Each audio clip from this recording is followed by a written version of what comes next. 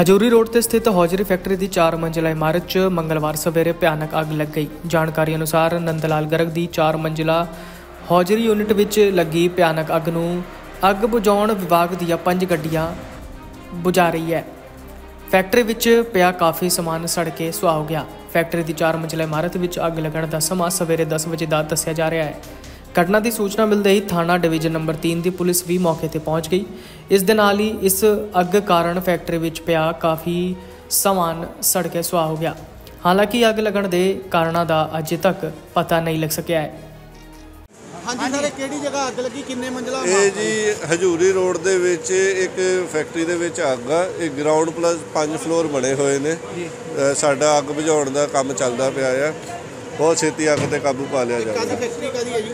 ਇਹ ਜੀ ਜਿੰਨਾ ਕੁ ਪਤਾ ਲੱਗਾ ਕੱਪੜੇ ਦੀ ਫੈਕਟਰੀ ਆ ਬਾਕੀ ਉਹਦੇ ਬਾਅਦ ਤੁਹਾਨੂੰ ਦੱਸਿਆ ਜਾਵੇਗਾ ਡਿਟੇਲ ਬੰਦੇ ਅੰਦਰ ਫਸੇ ਹੋਏ ਜੀ ਅੰਦਰ ਸੀ ਕੱਢ ਲਗੇ ਇਹ ਇਸ ਬਾਰੇ ਅਜੇ ਮੈਨੂੰ ਕੋਈ ਇਨਫੋਰਮੇਸ਼ਨ ਨਹੀਂ ਕਿ ਬੰਦੇ ਅੰਦਰ ਫਸੇ ਸੀਗੇ। ਜੋ ਵੀ ਆਪਣੇ ਫਾਇਰ ਦੀ ਟੀਮ ਅੰਦਰ ਕੰਮ ਕਰਦੀ ਪਈ ਆ ਅੱਗ ਤੇ ਕਿੰਨੀਆਂ ਗੱਡੀਆਂ ਆ ਗਈਆਂ ਹੋਈਆਂ ਜੀ?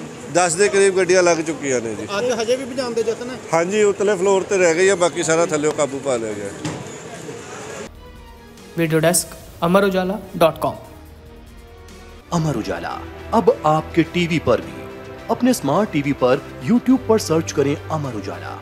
चैनल सब्सक्राइब करें और देखें ताज़ा खबरें। वो भी एचडी क्वालिटी में। और हाँ बेल आइकन दबाना ना भूलें, ताकि हर खबर हो आपके घर। अमर उजाला। निष्पक्ष निर्भी निरंतर।